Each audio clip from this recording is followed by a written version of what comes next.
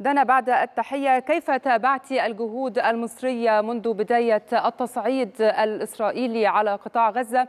وحتى نجاح مصر في التوصل لاتفاق وقف إطلاق النار بين الجانبين الفلسطيني والإسرائيلي.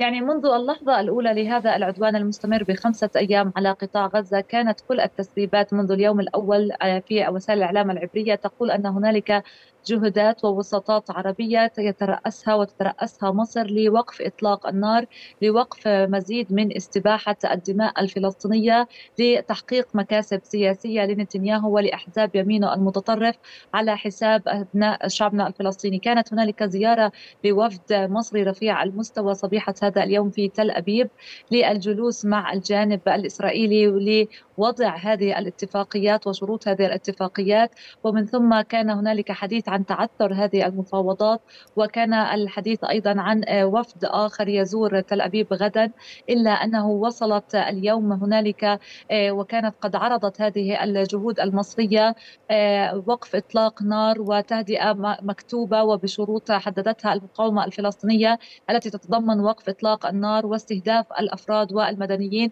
وكذلك وقف الاعتداء والعدوان على أبناء شعبنا وهدم المنازل هناك. كانت هنالك ترجيحات تقديرات عسكرية إسرائيلية بأنه إذا لم يتم هناك الالتزام من قبل فصائل المقاومة فإنه سيكون الرد قوي وأن إسرائيل لن تسكت هذه المرة عن استخدام يعني أو الرد على هذه الرشقات الصاروخية في أول تصريح رسمي بعد دخول التهدئة حيز التنفيذ.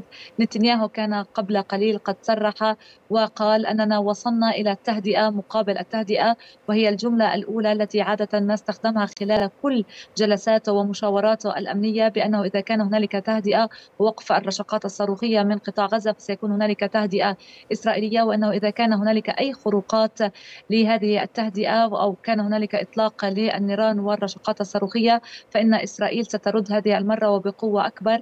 ثاني هذه التصريحات التي وردت على لسان وزراء الحكومة الإسرائيلية بعد دخول التهدئة حيز التنفيذ. نتحدث عن تصريح وزير الأمن القومي الداخلي إتمار بن كبير والذي قال أنه حان الوقت الآن لتنفيذ ما جرى في غزة بحملة اغتيالات لتنفيذه في الضفة الغربية. وفي هذا تحريض واضح ضد الفلسطينيين باستمرار نفس النهج ونفس هذا الأسلوب باغتيال الفلسطينيين لأيضا تحقيق مكاسب سياسية إسرائيلية تمكن هذا الائتلاف الحكومي من استمرار تواجده وعدم الذهاب إلى حل انتخابات إلى حل لهذه الحكومة وهذا الائتلاف والذهاب إلى انتخابات خامسة في غضون عامين فقط. أود أن أعقب على ما قالته الزميلة منى وولاء قبل قليل ربما منى أشارت إلى عودة الحياة بشكل سريع وبشكل طبيعي إلا أنه على الجانب الإسرائيلي حالة التأهب حالة الطوارئ ما زالت مرفوعه في إسرائيل.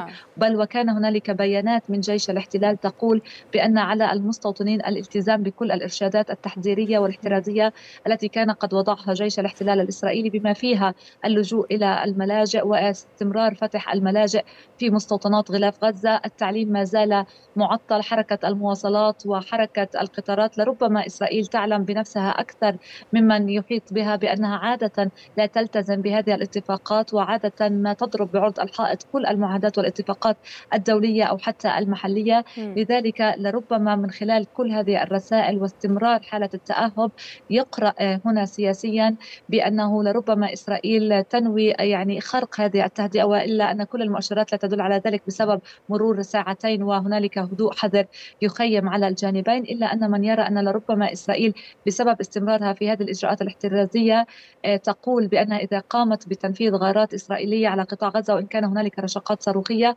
ما يضمن سلامة المستوطنين باستمرار فتح الملاجئ أو حتى الابتعاد عن المناطق المفتوحة وعن المناطق الحدودية مع قطاع غزة لمسافة تصل إلى 80 كيلو متر نتحدث أنه قبل قليل كان هنالك بيان من مكتب رئيس الأركان الاحتلال الذي قال أنه سيقوم بجولة تفقدية لمستوطنات غلاف غزة والجهة الجنوبية من إسرائيل أي الحدود الجنوبية مع قطاع غزة للتأكد من جدية الفصائل الفلسطينية بالالتزام بوقف إطلاق النار والالتزام بالتهدئة.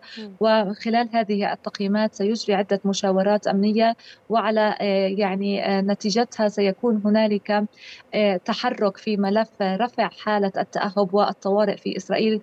بداية من مستوطنات غلاف غزة هذا يعني أنه يعني تتوقف حالة التأهب حالة الطوارئ تعود حركة المواصلات إلى طبيعتها.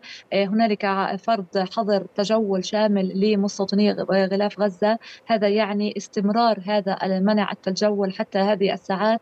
وإن كانت هذه التقييمات إيجابية على حد تعبيره فإنه سيكون هنالك رفع لحالة التأهب والطوارئ في داخل إسرائيل في ساعات صباح يوم الأحد. الوضع على ما هو عليه في داخل المستوطنات القريبة من قطاع غزة. كذلك الحال في البلدات الإسرائيلية وتلك البلدات خصوصا التي وصلتها صواريخ المقاومة لا سيما تل أبيب رحوبوت وريشون لتسيون بيت شيمش في جبال القدس الغربية. أما ما نعم نقلته الزميلة يعني ما ذكروا الإعلام الإسرائيلي في أثناء الاشتباكات بأن حركة الجهاد الإسلامي أطلقت صواريخ مضادة للطائرات لأول مرة وما ذكره مسؤول امني إسرائيلي. أن حركة الجهاد تمتلك ستة آلاف صاروخ. كيف تابعت هذا وما يمثله من تقدم نوعي لسلاح المقاومة؟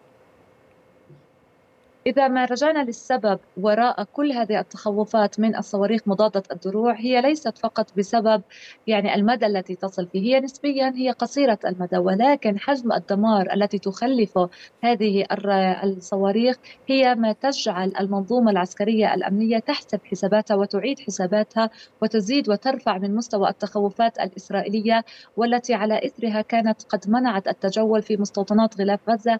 كون هذه الصواريخ قد تصل في مداها إلى تلك المستوطنات. لماذا هذه التخوفات أيضا من هذه الصواريخ؟ لأن هذه الصواريخ لا تحمل رادارات ولا يمكن للرادارات ولا تحمل مجسات ولا يمكن للرادارات تعقبها أي أنها لا تستطيع معرفة أين سيتجه. وإذا ما وقع في أرض مفتوحة أو في بناية سكنية ففي طبيعة الحال سيكون هنالك إصابات بل وقتلى وجرحى وتضرر في الممتلكات. قد يخلفها هذا الصاروخ الذي يحمل في رأسه مواد متفجرة تصل إلى 20 كيلومتر. لذلك كانت كل التخوفات المنظومة العسكرية من استخدام هذه الصواريخ التي استخدمت لأول مرة في هذا العدوان وفي هذا الحرب والرشقات الصاروخية ردا على العدوان الإسرائيلي. لذلك رجحت إسرائيل بأن الجهاد الإسلامي هنالك تطور في العدة نعم. التي يستخدمها والعتاد وبأنه يجهز أنفسه نفسه لحرب طويلة وأنه دخل حرب الاستنزاف وقتل الوقت من خلال وصلت التأخر في الرد أصلا على هذا دانا أبو شمسية مراسلة القاهرة الإخبارية. كنت معنا من القدس المحتلة. شكرا جزيلا لك.